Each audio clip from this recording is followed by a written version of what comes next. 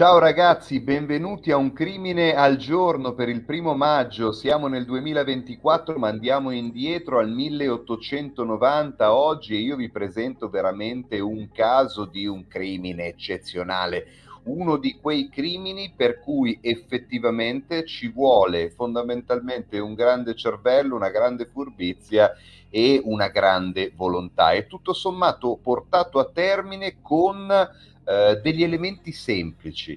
La situazione nel 1890 è quella di un ufficio postale vicino a Frosinone, adesso fra poco andremo a vedere la scheda, ed è una classica situazione di lui, lei, l'altro. Lei si chiama Penelope, una signora che ha sia un marito che un amante e l'amante lavora nell'ufficio postale dal quale lei manderà una raccomandata al marito dicendo che fondamentalmente ha assolutamente bisogno di poter vivere la propria vita libera. Eh, le racconterà di aver avuto una relazione oramai di lunga data con questo impiegato postale dell'ufficio postale, insomma, di Frosinone e racconterà al marito che se eh, sostanzialmente il marito non sarà pronto a lasciarla libera per vivere questa emozionante storia d'amore, lei addirittura è pronta a togliersi la vita. Andiamo a vedere la scheda e perché il motivo, insomma, per cui il piano della signora Penelope lo descrivo effettivamente come un crimine al giorno fra i più eccezionali, fra i migliori e i miglior, come dire, i miglior eh, strutturati che si possano avere. Siamo nel 1890, come ho detto, un ufficio postale di Pagliano in provincia di Frosinone. Siamo fra le 8 e le 12. Augusto Ottavi, impiegato postale, è l'amante della signora Penelope Carnevali, moglie di Mario Carnevali, che è un sottufficiale di cavalleria e che prende la rivelazione della moglie con, insomma, quel piglio tipico che può essere nel 1890 quello di un sottufficiale di cavalleria al di là del tradimento e al di là della preoccupazione insomma per la moglie che ha dichiarato in questa raccomandata che si sarebbe tolta la vita proprio quella mattina a meno che lui non avesse portato a termine insomma l'obiettivo di allontanarsi e di lasciarla libera di eh, vivere con il proprio amante il loro amore eccezionale. Ecco, che cosa fa Mario Carnevali, sottufficiale di cavalleria? Pensate forse che si avvierà per salvare la moglie che ha minacciato di togliersi la vita proprio quella mattina?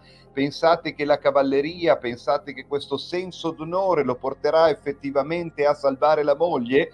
Vi sbagliate di grosso, lo porterà a prendere una pistola d'ordinanza a recarsi presso l'ufficio postale da cui è partita tra l'altro la eh, raccomandata che gli è arrivata, voi pensate, una raccomandata di richiesta di separazione sostanzialmente mandata dallo stesso ufficio postale in cui lavora l'amante Augusto Ottavi, si recherà con la pistola d'ordinanza e eh, andrà a eh, uccidere a colpi d'arma da fuoco l'amante della moglie Augusto Ottavi appunto sotto gli occhi di impiegati e numerosi clienti dell'ufficio postale di Pagliano presso Frosinone. Mario Carnevali così verrà evidentemente inquisito per assassinio volontario dopo non essere andato a salvare la moglie ma ad uccidere l'amante che era implicato in questa situazione, in questo trio tipico insomma da operetta per un movente tipico che è quello della gelosia e Mario Carnevali quindi verrà non soltanto eh, come dire inquisito ma verrà anche condannato per l'omicidio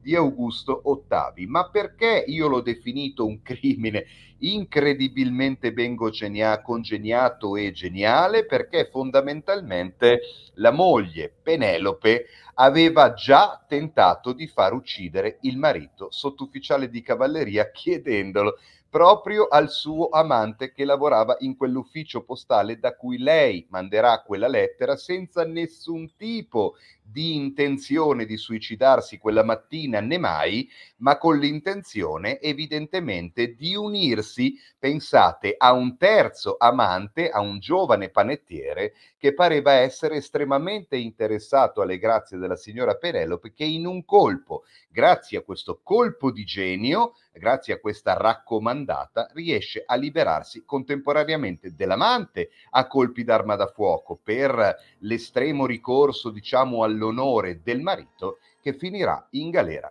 per l'ergastolo. Quindi un colpo di genio, un crimine eccezionale per il primo maggio 2024 facendo riferimento a tanti tanti anni fa, 1890. Questa è la piccola pillola di crimine per il primo maggio. Oggi ci vediamo domani con un'altra pillola e ci vediamo domani con una puntata speciale della Botteguccia dei Sigilli in cui parlerò di un parallelismo meraviglioso fra artisti e serial killer.